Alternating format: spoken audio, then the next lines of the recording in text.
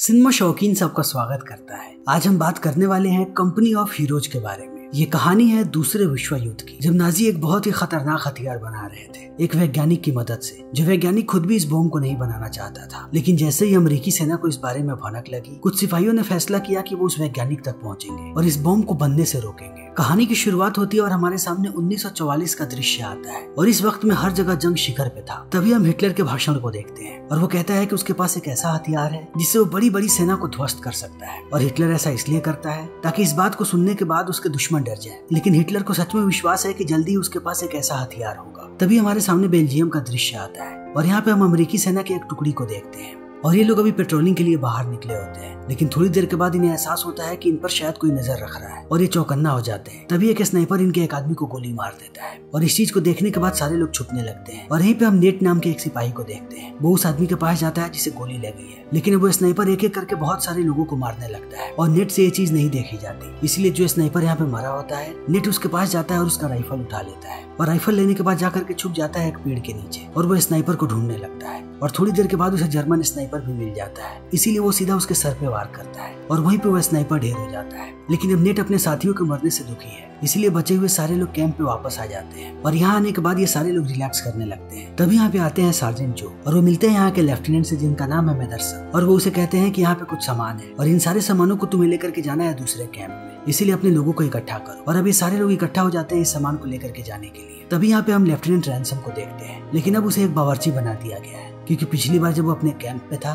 तब उस पर हमला हुआ और पंद्रह मिनट में उसके सारे लोग मारे गए। इसीलिए उसका डिमोशन हो गया और अब रैनसम भी इन सारी बातों को सुन रहा होता है। लेकिन मेदरसन अब सारे लोगों को लेकर के निकलने लगता है। तभी जाते समय वो नेट को कहता है कि अब तुम हमारे स्नाइपर हो। वो भी मेन स्नाइपर फिर ये सब लोग अपने सारे सामानों को भरते हैं ट्रक में और सबको लेने के बाद ये लोग छह ट्रक से यहाँ से निकल जाते हैं और सब लोग बहुत ही मौज में जा रहे होते हैं। इसीलिए ऊपर बैठ करके सिगरेट भी पी रहे होते हैं। लेकिन नेट अभी भी गुमसुम बैठा होता है और वो कुछ सोच रहा होता है। लेकिन ये ट्रक यहाँ से जैसे ही थोड़ी दूरी पे जाता है, यहाँ पे एक बहुत बड़ा ब्लास्ट होता है, जिससे एक ट्रक पूरी तरीके से तबाह हो जाता है और बाकी भी ट्रक्स का एक्सीडेंट हो जाता है। तभी जर्मन सिंह पर अंधाधुन गोलियाँ चलाने लगते हैं और वो एक के बाद एक सबको भूनने लगते हैं। इसीलिए सारे अमरीकी सिपाही जा जाकर छुपने लगते हैं और वो अपनी अपनी बंदूकें निकालते हैं और वो भी इन पे गोलियाँ चलाने लगते हैं। और यहीं पे हम नेट को देखते हैं। नेट का निशाना बहुत ही तगड़ा है। इसीलिए वो एक एक करके जर्मन सिपाहियों को मारने लगता है। और यहाँ पे ज़्यादा जर्मन सिपाही नहीं होते। इसीलिए सारे लोग एक साथ मिल करके जल्दी उनका खात्मा कर देते हैं। और इन्हें खत्म करने के बाद नेट अब अपने घायल साथियों की मदद करने लगता है। तभी यहाँ पे फिर से जर्मन चले आते हैं। और वो नेट के दोनों साथियों को मार देते हैं। इसीलिए नेट फिर से छुप जाता है। और धीरे धीरे ये लोग आगे बढ़ने लगते हैं। और थोड़ी देर के बाद ये लोग पहुँचते हैं दूसरी जगह पे। तब नेट फिर से देखने लगता है दुश्मनों को। और इसे यहाँ पे बहुत सारे दुश्मन नज़र आते हैं। लेकिन इसके पास सही एंगल नहीं होता है कि ये गोली चला पाए। तभी हम यहाँ पे और भी जर्मन सिपाहियों को देखते हैं। फिर हमें पता लगता है कि रैनसम भी इनके साथ ही है। इसीलिए अब रैनसम और मदरसम दोनों मिलकर पीछे वाले जर्मन सिपाहियों को मार देते हैं। इसीलिए अब इनका रास्ता क्लियर होता है। फिर ये सब लोग एक साथ आगे बढ़ने लगते हैं और ऐसे ही आगे बढ़ते जाते हैं। लेकिन इनकी मुश्किलें इतनी जल्दी खत्म नहीं होने वाली, क्योंकि जैसे ही ये लोग थोड़ा आगे जाते हैं, इन्हें एक बहुत बड़ा टैंकर नज़र आता है और उसके साथ साथ बहुत सारे जर्मन सिपाही। लेकिन इन्हें लगता है कि ये लोग पर्याप्त है उन्हें खत्म करने के लिए।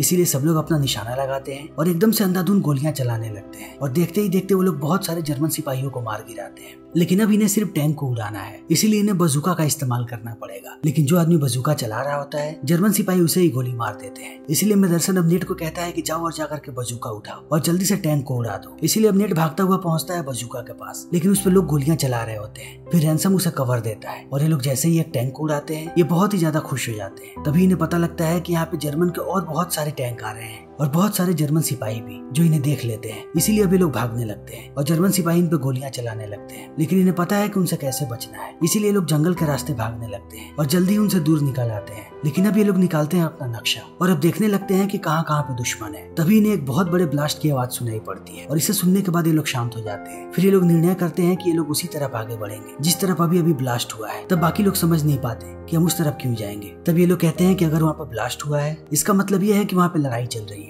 और जर्मन सिपाही अपने आप से नहीं लड़ रहे होंगे। वो ज़रूर किसी और से लड़ रहे होंगे। इसीलिए हम उन अलाइट ट्रूप को ज्वाइन कर लेंगे। और इतना कहने के बाद ये सारे लोग आगे बढ़ने लगते हैं। तभी हम यहाँ पे एक नाजी कैंप को देखते हैं। और यहीं पे अभी अभी ब्लास्ट हुआ है। और यहीं पे हम एक नाजी ऑफिसर को देखते हैं, जिसका नाम है बीमियर और बीमियर अभी ब्लास्ट की जगह पर रेडिएशन को चेक कर रहा होता है। फिर भीमियर उस वैज्ञानिक के पास जाता है, जिसने इस बॉम्ब को बनाया था। और उसका नाम है ग्रीनी वर्ल्ड और यहीं पे ग्रीनी वर्ल्ड की बेटी भी होती है। जिसका नाम है क्रेस्टल। इसीलिए अब भीमियर इन दोनों को डांटने लगता है और कहता है कि ये बॉम्ब इतना खतरनाक नहीं है, जितना खतरनाक हमने इसे सोचा था। इसीलिए इसे और भी ज़्यादा खतरनाक बनाओ। तभी हम अमरीकी सेना को देखते हैं जो यहाँ पे आ चुके हैं। तब तक भीमियर वैज्ञानिक को लेकर के यहाँ से निकल जाता है। लेकिन अब अमरीकी सेना यहाँ पे हर जगह घूमने लगते हैं। तभी उन्हें यहाँ पे एक घायल आदमी नज़र आता है और ये आदमी बताता है की एक अमरीकी एजेंट है। और इतना कहने के बाद वो इन्हें एक फ़ाइल देता है और कहता है की इस फ़ाइल में इस बॉम्ब की पूरी जानकारी है। और रात को एक ट्रेन यहाँ से निकलने वाली है स्टटगार्ड के लिए। इसीलिए तुम लोग इस फ़ाइल को लेकर के स्टेट गार्ड के लिए निकल जाओ, क्योंकि इसमें उस बॉम्ब की पूरी जानकारी है। और अगर तुम लोग इस फ़ाइल को वहाँ तक नहीं पहुँचा पाओगे, तब ये बॉम्ब जल्दी ही अमेरिका में फटेगा और हज़ारों मासूम लोगों की जान जाएगी। इसीलिए फ़ाइल बहुत ही ज़रूरी है और इस फ़ाइल को पाने के चक्कर में मैंने अपनी जान गंवाई है। और इतना कहने के बाद इस ऑफिसर की यही पर मौत हो जाती है। इसीलिए लोग बिल्कुल भी वक्त जाया नहीं करते। और निकल पड़ते हैं स्टेशन की तरफ़। लेकिन जब ये लोग रास्ते में जा रहे होते हैं, तभी मेथरसन को एहसास होता है कि रैनसम गायब हो गया है। इसीलिए वो नेट को कहता है कि तुम पीछे जाओ और जा करके उसे ढूंढो। तब तक हम लोग तुम्हारा यहीं पे इंतज़ार करेंगे। तभी ये लोग देखते हैं कि यहाँ पे जर्मन सेना के और भी बहुत सारे टैंक आ रहे हैं। इसीलिए सब लोग पेड़ों के पीछे छुप जाते हैं और उन पर नज़र रखने लगते हैं। तभी हम रैनसम को देखते हैं और रैनसम पे एक विशाल आदमी हमला कर देता है और सब लोग उससे लड़ने लगते हैं। लेकिन थोड़ी देर के बाद इन्हें पता लगता है की ये कोई जर्मन सिपाही नहीं है, बल्कि एक रशियन सिपाही है और ये रेड आर्मी का मेंबर है और इसका नाम है युवान। इसीलिए लोग इसे नहीं मारते, क्योंकि यहाँ पे सारे लोग नाजियों के खिलाफ लड़ने आए हैं। इसीलिए नाजियों के खिलाफ लड़ने वाले सारे दोस्त हैं। फिर ये लोग ईवान को सारी बातें बताते हैं। और ईवान कहता है कि मुझे रेलवे स्टेशन पता है, इसीलिए वो इन्हें जंगल से बाहर निकालने लगता है। और ये लोग भी उसके पीछे जाने लगते हैं। और जल्दी ये लोग पहुँचते हैं रेलवे स्टेशन। तभी हम भीमियर को देखते हैं। और अब भीमियर को और भी ओएसएस एजेंट्स के बारे में पता लग गया है, यानी अमेरिकी सेना के बारे में, जो यहाँ पर आकर के घुसपैठ कर रहे थे। इसीलिए भीमियर उन्हें एक एक करके मारने लगता है। और वो सबसे पूछता है कि और सारे लोग कहाँ पे हैं। लेकिन कोई भी उन्हें कुछ भी नहीं बताता। इसीलिए भीमियर सबको मार देता है। तभी इवान इन्हें लेकर के जाता है ट्रेन नंबर सेवन में। क्योंकि यही ट्रेन जाएगी स्टेट गार्ड तक। लेकिन जैसे ये लोग ट्रेन के अंदर घुसते, उससे पहले इन पे नाजी हमला कर देते हैं। इसीलिए यहाँ पे गोलीबारी होने लगती है। और मेथरसन समझ जाता है कि वो नहीं जा पाएगा। इसीलिए वो सारे डॉक्यूमेंट्स को दे देता है नेट को। और कहता है कि बाकी सारे लोगों को लेकर के ट्रेन में चढ़ जाओ। तब तक मैं नाजियों को संभालता हूँ। लेकिन नेट नहीं मानता। तब वो उसे आग्रह करता है। और नेट बाकी लोगों को लेकर के जाने लगता है। तब तक ये ट्रेन चलने लगती है।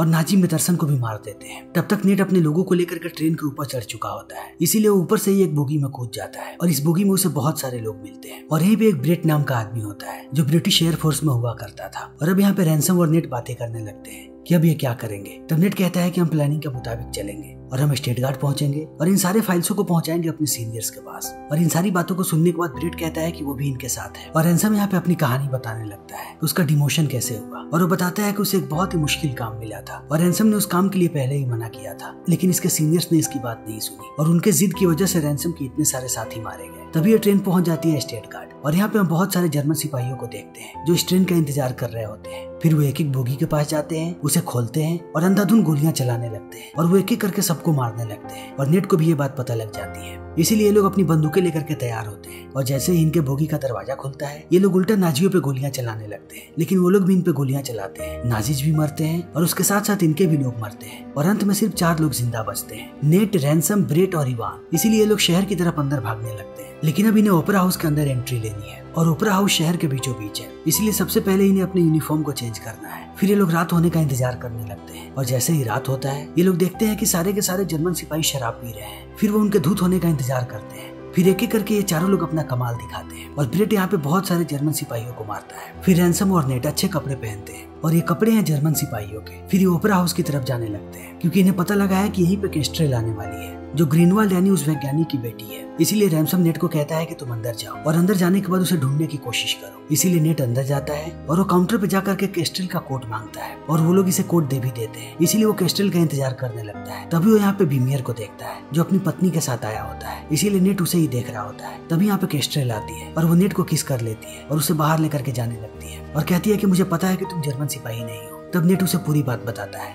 और कहता है कि हम लोग यहाँ पे तुम्हें छुड़ाने के लिए आए हैं और सारे के सारे ओ एस एजेंट्स मर चुके हैं। इसीलिए अब केस्टेल इन्हें लेकर के जाती है वेयर हाउस में और बताती है कि हमारा अमेरिका के साथ पहले ही समझौता हुआ था कि वो हमें कैसे भी यहाँ से बाहर निकालेंगे, क्योंकि मेरे पिता ने उस बॉम्ब को बना दिया था। लेकिन उस बॉम्ब में थोड़ी सी गलतियाँ थी, इसीलिए नाजी उनसे गलतियों को ठीक करवा रहे हैं और कल फिर से एक बार टेस्टिंग होने वाली है। और अगर कल टेस्ट सक्सेसफुल हुआ, तब वो लोग मेरे पिता को मार देंगे। और कहीं मुझे भी। तब ये लोग इन्हें विश्वास दिलाते हैं कि अपनी पूरी कोशिश करेंगे और ये दोनों को बचाएँगे। और अब ऐसे ही समय बीतने लगता है और केस्टल यहाँ पे नेट के घावों को साफ़ करने लगती है और बाकी सारे लोग भी आराम करने लगते हैं और देखते ही देखते सब सो जाते हैं। लेकिन आधी रात में नेट को कुछ आवाज़ें सुनाई पड़ती है। और जब वो उठ करके बाहर जाता है, तब वो इवान को देखता है। और इवान के हाथ में यहाँ पे बंदूक होती है, और उसके साथ साथ उस बॉम्ब का नक्शा भी। इसीलिए इवान अब नेट को धमकी देता है और कहता है कि अगर तुमने मुझे रोका, तब मैं तुम्हें गोली मार दूँगा। और मैं भी ये काम अपने देश के लिए कर रहा हूँ। और इतना कहने के बाद वो बॉम्ब का ब्लूप्रिंट लेकर के निकल जाता है। तभी अगली सुबह केस्टल नेट को लेकर के जाती है उस जगह पे, जहाँ पे उस बॉम्ब को रखा गया है। क्योंकि केस्टल चाहती है कि ये लोग पहले ही उस बॉम्ब को खराब कर दें, ताकि जब उसकी टेस्टिंग हो, तब बॉम्ब अनसक्सेसफुल हो जाए। और तब कहीं वो लोग उसके पिता को ना मारे। और इनके पास पर्याप्त समय हो उन्हें बचाने का। इसीलिए अब क्रिस्टल इन सबको लेकर के जाने लगती है। और क्रिस्टल को यहाँ पे कोई भी नहीं रोकता, क्योंकि सबको पता है कि वो ग्रूनवाल की बेटी है और वो हमेशा ही यहाँ पे आती रहती है। और क्रिस्टल ने बाकी लोगों को जर्मन सेना के कपड़े पहना दिए हैं, इसीलिए अब सब लोग अंदर जाने लगते हैं। और क्रिस्टल जल्दी ही इन्हें लेकर के पहुँचती है नाजिज की न्यूक्लियर फैसिलिटी में।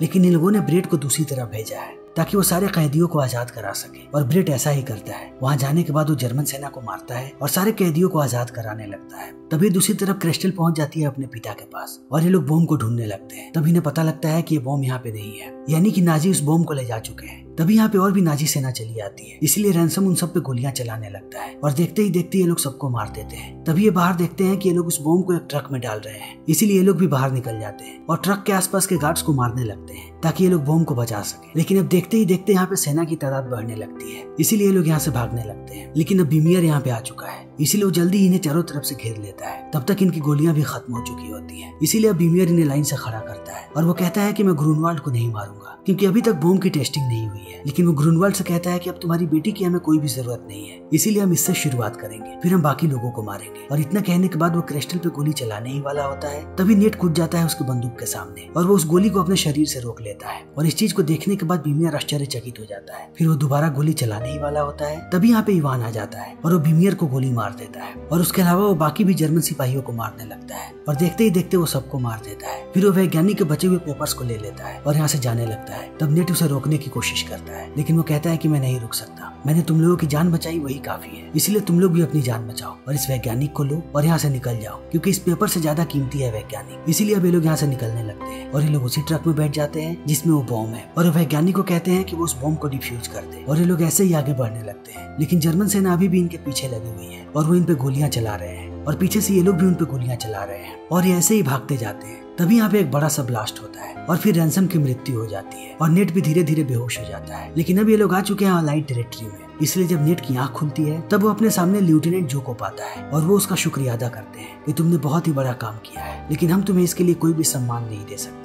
क्योंकि ये देश की सुरक्षा की बात है। इसलिए तुम्हें भी अपना मुँह बंद रखना पड़ेगा। और कभी भी इस बारे में किसी को भी भनक नहीं लगनी चाहिए कि वो वैज्ञानिक ऐसा बॉम्ब बना रहा था। और नेट भी इस बात के लिए मान जाता है। तभी यहाँ पे क्रिस्टल आती है और नेट और क्रिस्टल बातें करने लगते हैं। और दूसरी तरफ़ बाकी लोग अपने घर के लिए निकल पड़ते हैं। और इसी के साथ ये फ़िल्म यहीं पे खत्म हो जाती है। तो दोस्तों, हमारी आज की ये वीडियो यहीं पे खत्म होती है। अगर आपको हमारी ये वीडियो पसंद आई हो तो इसे लाइक करें शेयर करें और चैनल को सब्सक्राइब करें। Thank you